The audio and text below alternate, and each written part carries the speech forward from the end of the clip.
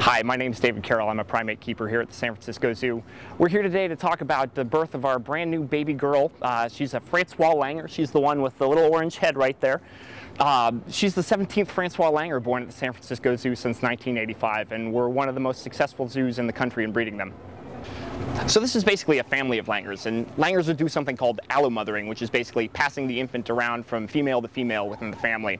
Uh, it helps spread out parenting responsibilities, make sure that mom doesn't get too tired and gets plenty to eat. Since she's been born, actually, we've seen the baby spend as much time with her older sister as with her mom, and that gives the mom a break as well as helps the older sister develop lots of parenting skills that she'll need in the future. We're really proud to have this species here at the zoo. Francois langurs are actually endangered. There are perhaps fewer than 2,000 of them left in the wild, uh, which is why breeding efforts like we have here are so important. Since she's been born, the Giants have started doing pretty well in the playoffs. She's going to stay orange and black for the next three to six months, so come on out to the San Francisco Zoo and meet her.